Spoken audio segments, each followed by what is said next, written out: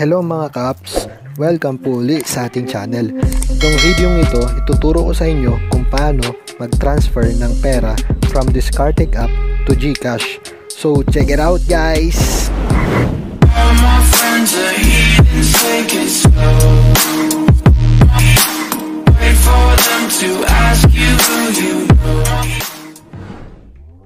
Mga kaps, kung bago lang tayo or napadaan sa channel natin, please click subscribe button po para updated tayo sa mga bagong videos.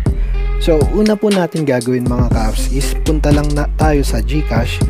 check po natin yung balance po natin. Okay. Punta lang tayo.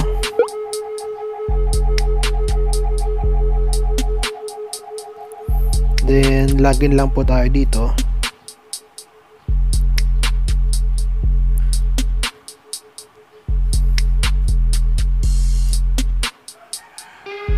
So, ang balance po natin is 40 pesos po. So, try po natin mag-transfer ng 100 pesos. So, ngayon, punta na po tayo ngayon sa Discartic app. Close natin to. So, login na po tayo sa Discartic app.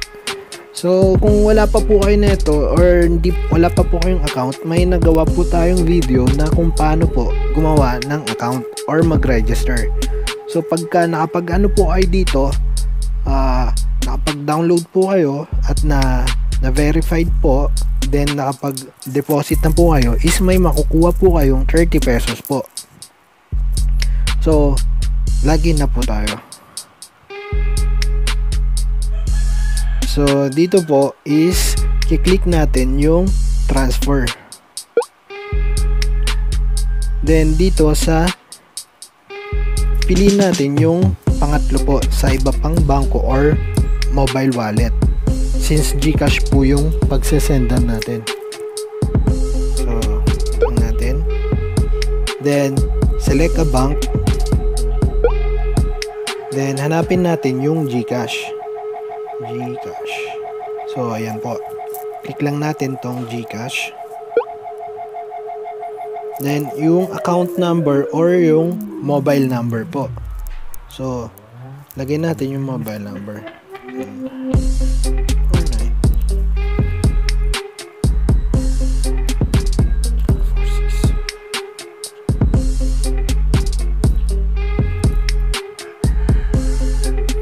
Then, yung pangalan.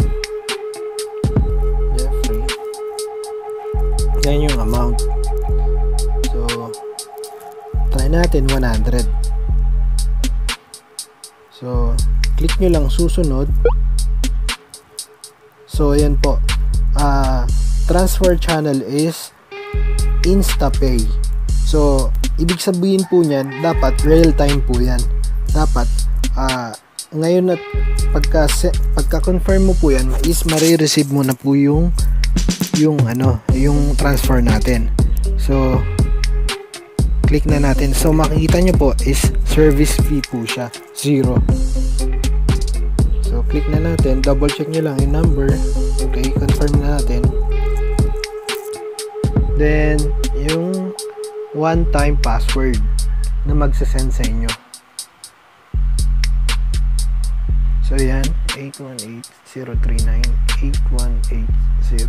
818-039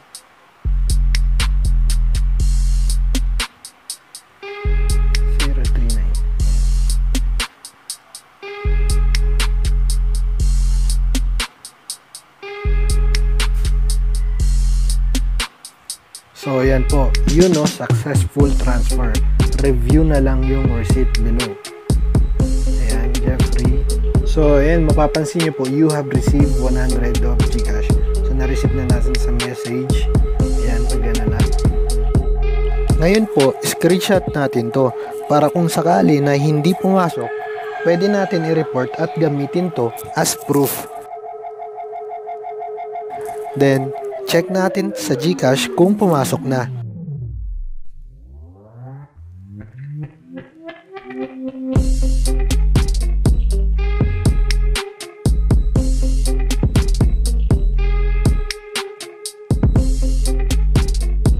So, ayan na po siya mga ka-apps.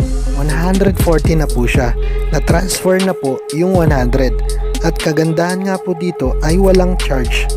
Service fee niya ay wala nga po. So, yun lang po mga Cubs. Sana nakatulong sa inyo to. Huwag niyo po sanang kakalimutan po mag-subscribe po sa ating channel. Dahil ina-upload natin ay very helpful po at informative content. So, yun lang po.